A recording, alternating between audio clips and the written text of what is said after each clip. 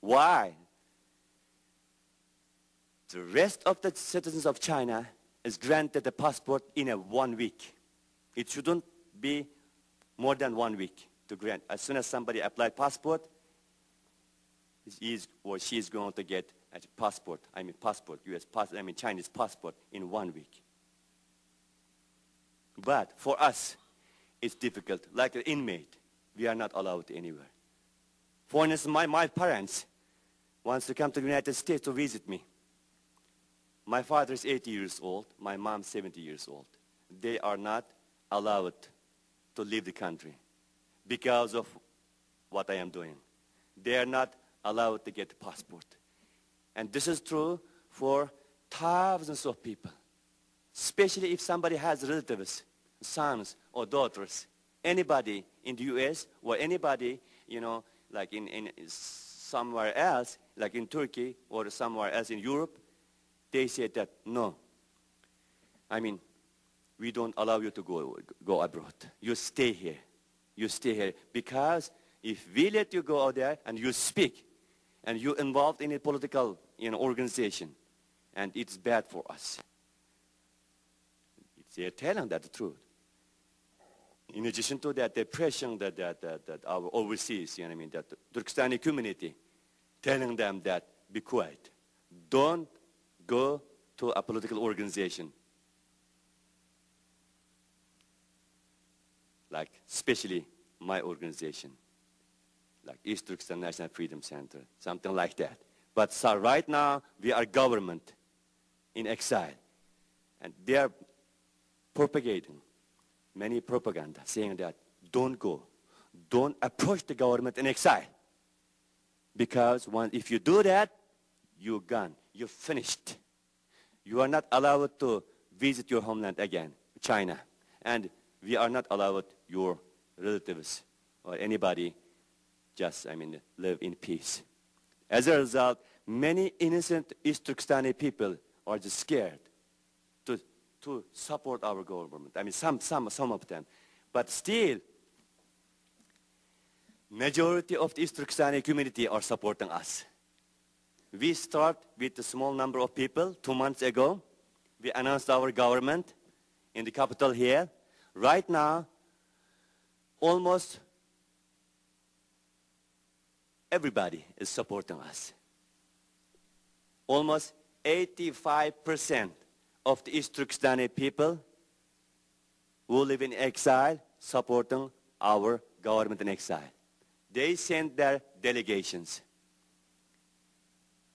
as you can see, from Istanbul, from Turkey, from many uh, other parts, of, for instance, all of the East Turkestani, well-known East Turkestani organization have the delegations, the president and vice presidents here. For instance,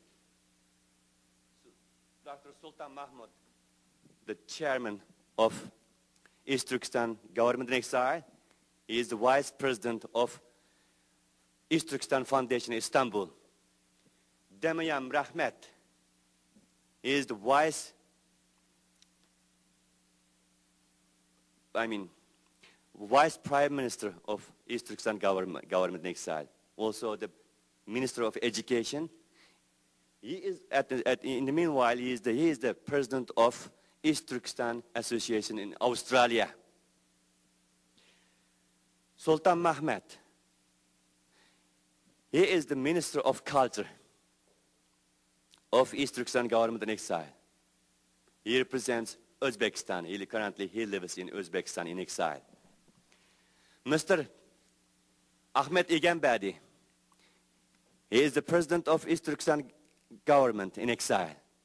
In the meanwhile, he is the founder and he, is the, he, was, he was the president of East Turkestan um, Association in Australia before Mr. Demian Rahmet took his place.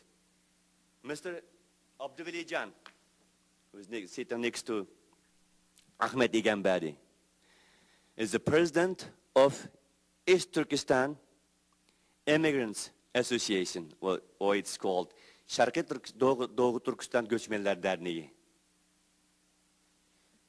Next to him, Mr. Khizrbek Ghairatullah, a well-known writer and freedom fighter, is the vice president of East Turkestan Immigrants Association Istanbul. At the same time, Mr. Khazrbek Khazrbek Khairatullah is the vice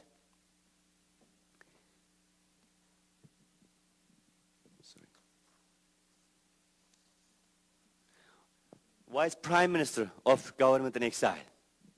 Mr. Aydogan is also the member of East Turkestan Immigrants Association Istanbul. And I have, I have other fellow East Turkestanis who also represent the East Turkestan Foundation or East Turkestan Association. For instance, and we have the representative who's sitting at, at the stage right now behind you.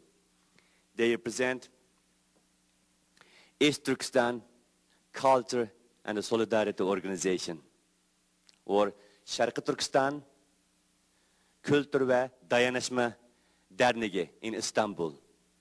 And his head is, is also present here. Sitaranji. And he's also vice president, also presents here. Kadir Khan, Aga also presents here. And I have many other fellow Eastern Turkestanis were unable to attend this meeting because of some other uh, reason. But many of the Eastern Turkestani people send their, you know, I mean, congratulations or support to us.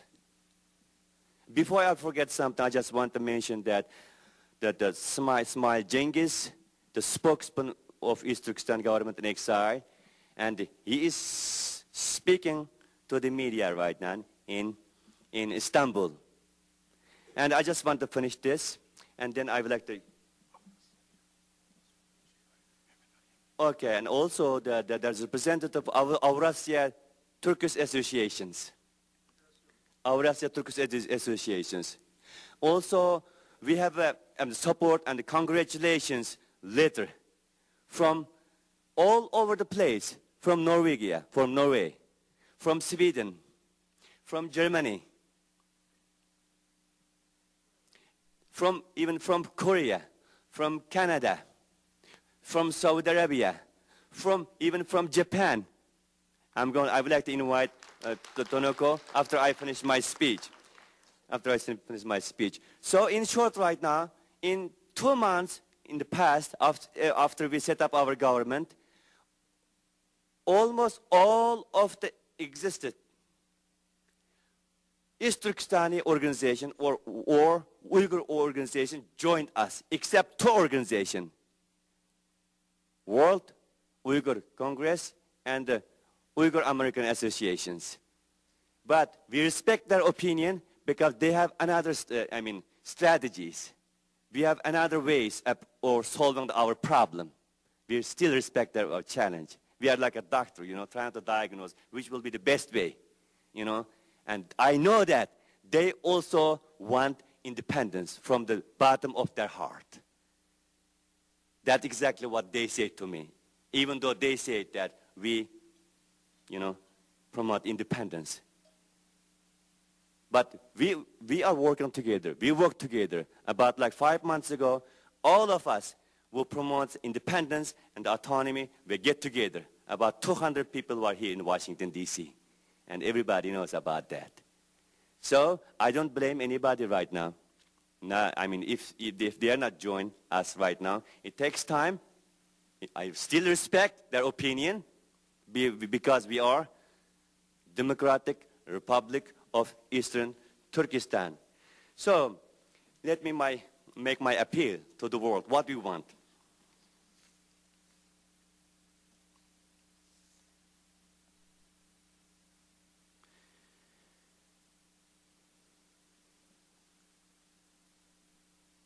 Okay, so as the diplomats and the journalists, not only I am telling the fact,